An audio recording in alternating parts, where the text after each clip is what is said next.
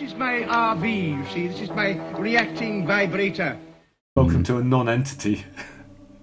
I, f- I feel as well that um, had I had it to hand, I would have loved to have read the novelization of this story because I imagine um, Ian Stuart Black wrote it in the what late eighties or mid eighties. By the time he was writing it, he would have known the story was probably gone forever.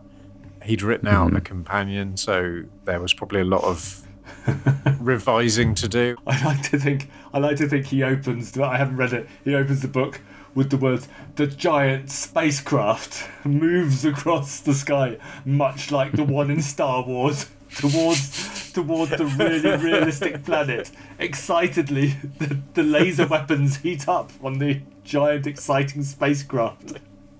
Meanwhile, Everything- down on the planet, Down on the planet, which was really well realised. Yes, a a group group, of of, racially sensitive people. yes, definitely non-blacked up elders who were in no way looking blacked up are having a are having a deep philosophical conversation that is interesting to everybody. And there are no jokes about anyone being sucked off in the next 100 pages. The doctor with wields his reactive device that may or may not may or may not oscillate.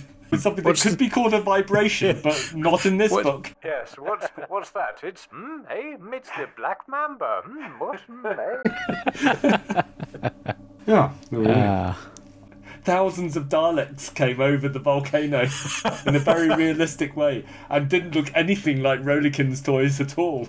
Ian and Barbara definitely having had sex on the on the couch.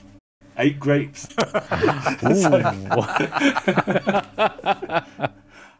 do we have anything more that we want to uh, elucidate on on this particular story? Well, I'm sure we've, we've hmm. just sold a, a, at least, what, three or four copies of the digital download of the book. So You know, if you're I'm- listeing, Penguin Random House, thank I'm you very much. Yeah. I'm pretty sure once Yeah. it's out of once it's out of copyright, there's a there's a room for fans to write novelizations of, of what they think the authors would want